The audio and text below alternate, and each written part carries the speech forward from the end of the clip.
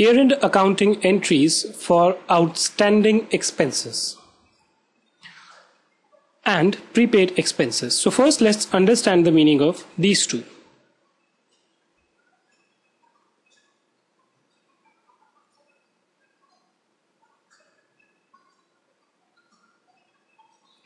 Now, you must be aware that every business prepares its account for one particular year. So let's say there is a person who prepares his accounts from 1 4 2011 until 31 3 2012. Right? There are some recurring expenses which every business has to incur. So let's say whether you talk about salary right? Whether you talk about uh, maybe printing expenses, printing and stationery,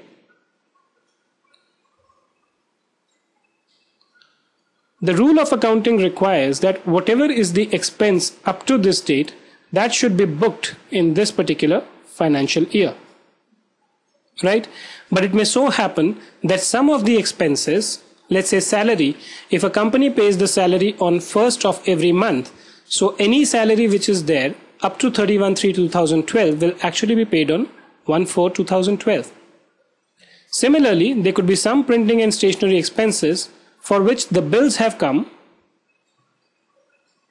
right? But the payment has not been done.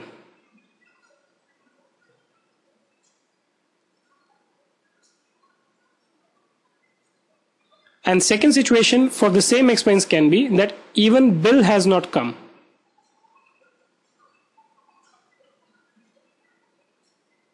right? So when we talk about outstanding expenses, we talk about the expenses for which bills have also not come. If the bills have come, we would straight away debit the printing and stationery account and credit the supplier. Right?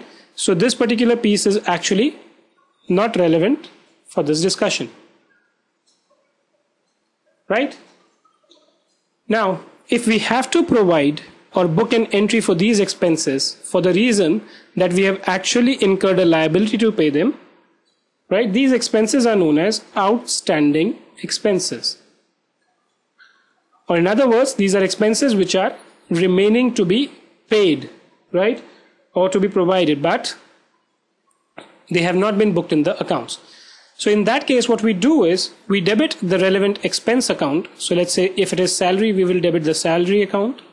If it is printing and stationery, we will debit the relevant printing and stationery account by whatever amount. So let's say 500, 100, whatever that number is, and we credit the outstanding expenses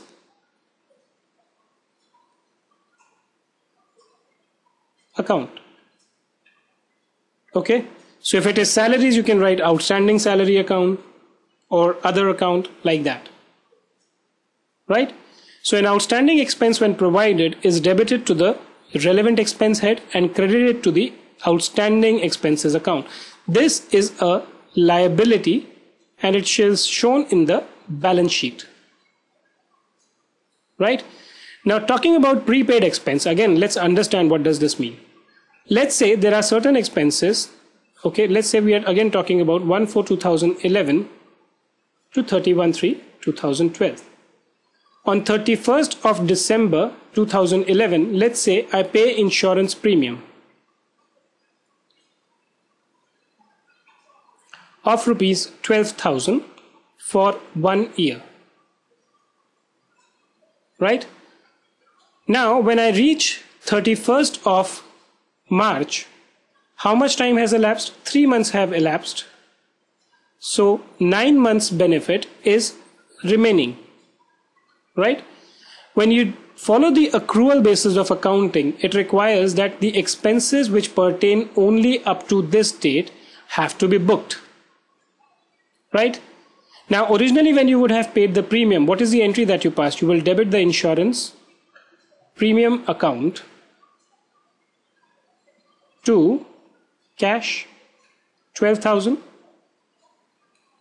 If I don't pass any entry, this premium of 12,000 will go and hit the profit and loss account, which is incorrect. Why? Because during this year, only three months of benefit out of this 12,000 has been availed. So what we do instead is we reduce this amount, we credit this amount to insurance premium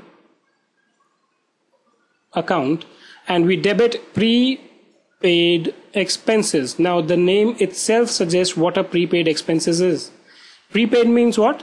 As on the date when you are preparing your balance sheet, this account has been prepaid, has been paid in advance. And how much is the amount? 9,000. Why? This amount is apportioned based on the total benefit. So if three months have passed, ideally 3,000 should be booked. If we debit this by 12,000 and credit it by 9,000, then effectively the net debit which is there in this account is 3000 9000 is going to go and sit in the balance sheet next year when the year ends you are going to reverse this amount and book it to the insurance premium account. Right? So that's what a prepaid expense is